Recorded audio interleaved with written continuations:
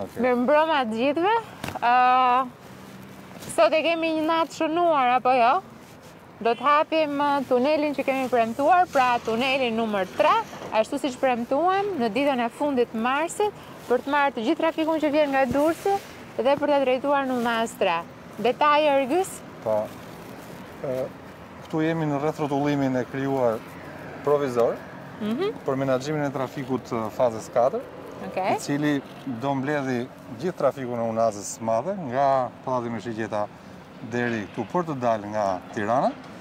Do mbledhi dhe trafikun që do futet nga Dritan Hoxha, mhm. në drejtim të Durrësit. Kjo është lëvizja nga Tirana për në Durrës. Mhm. Lëvizja nga Durrësi për në Tiranë do vijojë për 4 ditë në tunel tresh për makinat e vogla mhm. dhe në hyrjen ekzistuese për trafikun e rëndë dhe mbas 4 ditësh, 5 ditësh bypassin provizor që patëm krijuar për daljen nga Tirana Do ta shëmbim dhe do krijojmë aksesin nëpërmjet Tunel Katrës në zonën e Laprakës dhe Spitalit Traumës, pra futja në Tiranë do bëhet nëpërmjet Tunel Treshit në drejtim të Astirit dhe nëpërmjet Tunel Katrës në drejtim të Laprakës, pra të aksesojë Tiranën dhe Zogun e Zi nëpërmjet Laprakës. Pra do kemi dy aksese për të hyrë në Tiranë, të cilat Sipas gjithë planit dhe të menaxhimit trafikut ne parashikojmë që nuk do të kemi më ngecje dhe bllokim trafiku siç kishim deri më tani për shkak të kantierit, apo jo? Po.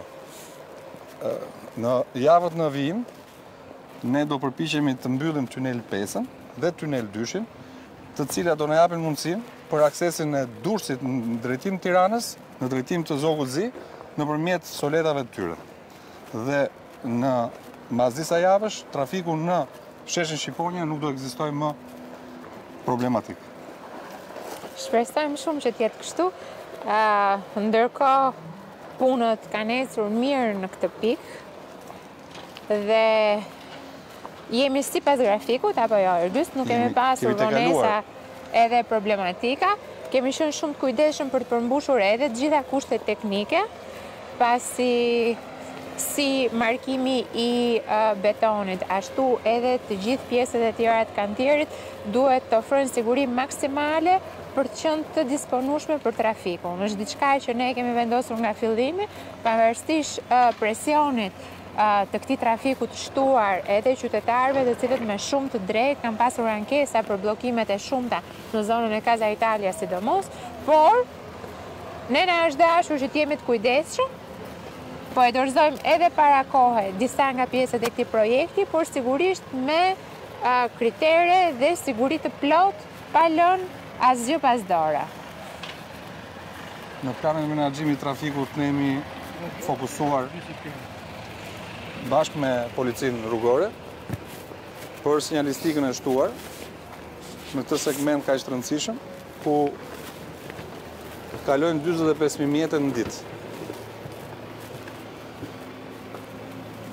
Tani po shkelim tunelin 3, apo jo? Po. Keni përfunduar gjithçka këtu në tunel Ergys, domethënë është përfunduar sinjalistika? Për pak detaje të vogla, që për pak orë hapet trafiku. Domethënë keni për të përfunduar edhe diçka të vogël që na ka ngelur në sinjalistikë? vizimit. Edhe menjëherë, pastaj hapim trafikun, sapo të kemi edhe vizimin. Për informacion të qytetarëve, sa i gjatë është tuneli 3? 220 metra. Ndërkohë që tuneli 4? Tuneli 4, 160 metra. E qartë. Atëherë këtu e kemi dy korsi. Këtu e kemi dy korsi. Mhm. Dhe tuneli 4 po prap dy korsi. Pra në Tiranë do futen dy në këtë tunel dhe dy te tuneli 4. Janë 4 korsi që futen në Tiranë. Duhet thënë diçka që unë e përsëris çdo herë që ne vijmë këtu, që është mjaft e rëndësishme.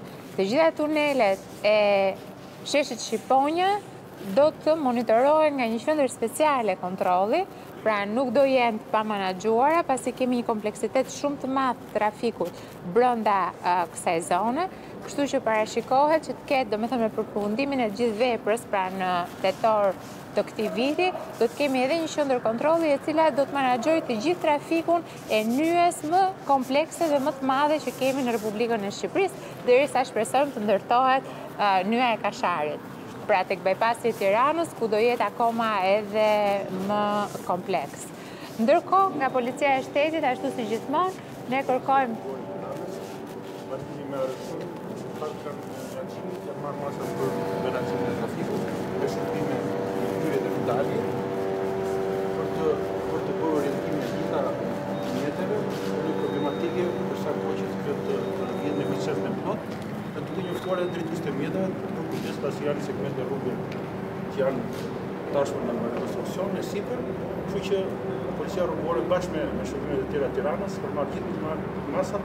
për menaxhimin e plotë të trafikut.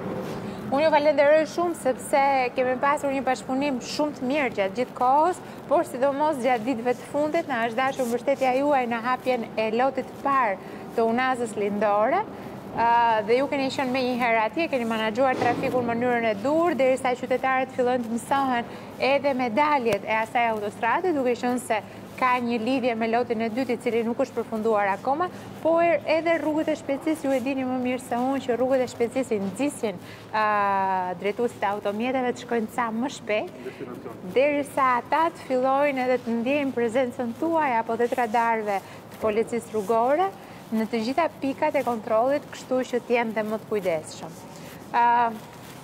Ne po i afrohemi daljes tunelit, dhe me të vërtetë është bërë një punë e mirë, është kënaqësi të shikosh vepra infrastrukturore të përfunduara, sidomos si kjo vepër, pra si unaza e cila u kthye edhe në një fushë betejë politike, duke krijuar kështu një vonesë për gati një vit e gjysmë, pasi kjo punë duhet ishte filluar prej kohësh dhe përfunduar prej kohësh, por më mirë vonë sesa kurrë.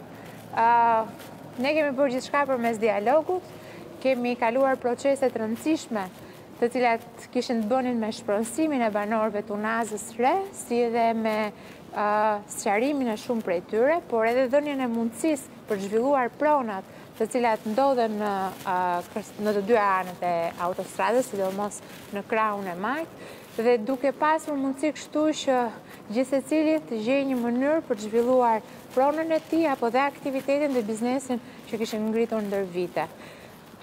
Kjo vepër, si të gjitha veprat e tjera infrastrukturore, do t'i rrisi vlerën të gjithë zonës, pasi pavarësisht se çfarë ndodh në nëntokë, pra gjithë kjo vepër e rëndë e infrastrukturës rrugore, e transportit rrugor, Nga ana tjetër, në sipërfaqe, ne do të kemi një nyje totalisht të padukshme, e cila është përshtatur sipas projektit në kushtet e një hyrje qyteti të gjelbëruar me lulishte dhe me pemë, për t'u përshtatur edhe kryeqytetit të ri tashmë të krijuar të gjithë pamjes që Tirana ka, por edhe banorëve të zonës të cilët Nuk mund të quash më që kjo është periferia e Tiranës dhe dalja, se qyteti po zgjerohet dhe duke u zgjeruar gjithmonë e më shumë shumë kufijtë shtyhen.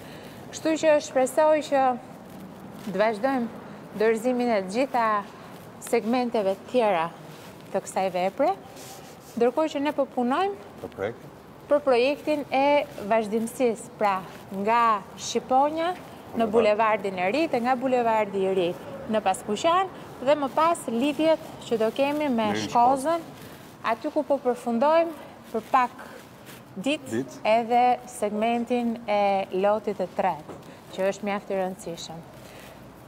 Shumë kënaqësi që pas pak orësh, ndoshta policia rrugore do të hapë dhe do të heqë pikërisht pengesat dhe këtu do të kalojnë makinat e para. Makina e parë shpresoj ta ketë këmbën e mbarë që të tërheqë edhe tunelet e tjera që të mbarojnë sa më shpejt. Shumë faleminderit.